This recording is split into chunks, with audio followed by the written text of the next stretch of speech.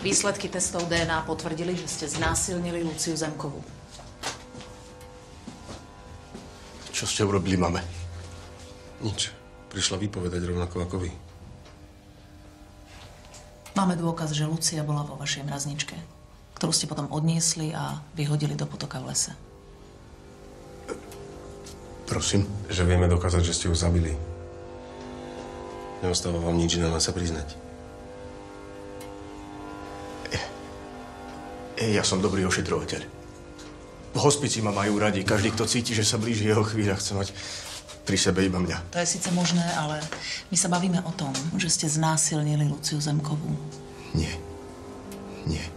Nie. Tak mi vysvetlíte, ako sa dostala do vašej mrazničky. A strávila tam 5 rokov. Len som jej chcel vyznať lásku.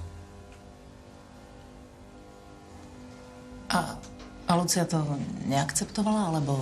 Vysmiela. Ako malé decko, mal som tedy odísť. No to ste teda mali. Ale neurobili ste to.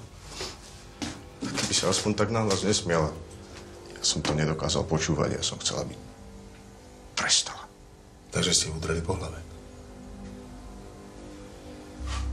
Čím? Čo? Ja, ja neviem. Neviem, len som ju buchol a zaspal. Konečne bolo ticho.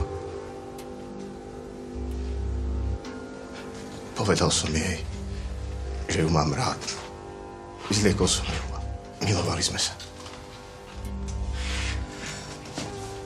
Lucia bola minimálne v bezvedomí. Takže to, čo ste robili... Ľúbili sme sa. Vždy, keď sa opaľovala hore pes, tak som jej mával z okna a ona mi odmávala. Pán Kováč, Lucia vás poznala od detstva. Bola u seba doma vo svojej záhrade. Takže to, že vám mávala, to bolo asi, že vás chcela pozdraviť a nič Nie. iné. Nie. Ľúbili sme sa. A prečo ste ju zaškrtili? Zrazu tam bola moja mama. Lucia sa zobudila a začala kričať. Ja som nechcela, aby bola mama smutná z toho, čo videla. Čo ste s ňou urobili potom? S mamou sme ju preniesli do mrazničky. A, tam spala, až kým nevypli elektrínu.